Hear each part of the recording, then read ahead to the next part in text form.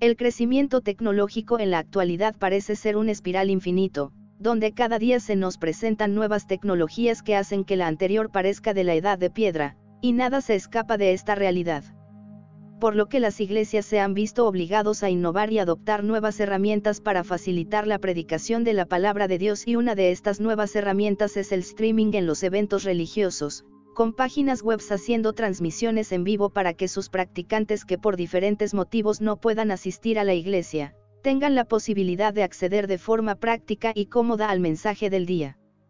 Para lograr esta transmisión en vivo es necesario primeramente hacer una buena inversión en equipamiento, cámaras, micrófonos, computadores destinados a la transmisión del video, y servicios de Internet bastante estables que garanticen una transmisión de calidad para que el practicante sienta que se encuentra en el lugar. Un gran beneficio para las iglesias en la incorporación del streaming es la expansión que puede llegar a tener, pues literalmente es posible hacer la transmisión de su mensaje a todo el mundo con una conexión a Internet.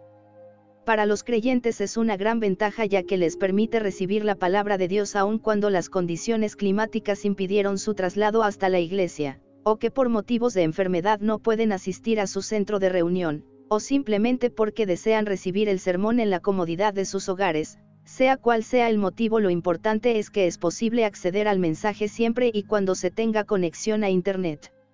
Dada la versatilidad de la tecnología streaming, es posible optar por dos opciones de streaming, las transmisiones en vivo o grabados, brindando así más facilidad para aquellos que por motivos laborales al momento de la transmisión del mensaje no puedan recibirlo, permitiéndoles disfrutar de él en el momento que deseen. Adicionalmente a las transmisiones de los sermones dados por los sacerdotes, pastores o líderes de las iglesias, permite ofrecer toda una gama de programación con imágenes bíblicas y dibujos animados que pueden disfrutar los más pequeños del hogar, así como hacer la oración del día en hora de almuerzo.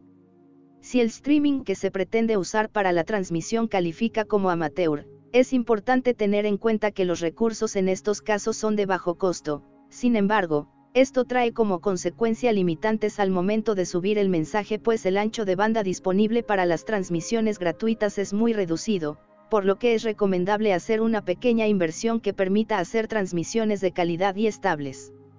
Streaming para iglesias, cultos en vivo.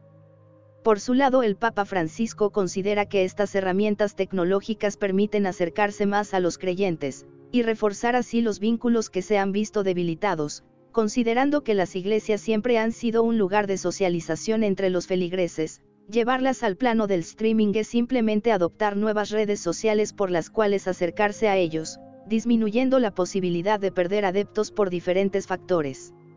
Las fronteras establecidas por las ubicaciones geográficas de las iglesias son superadas por el streaming logrando establecer nuevos lazos con creyentes de todas partes y así construir de forma fácil y rápida, pues la facilidad de esto es que con aplicaciones móviles es posible obtener la señal de la transmisión.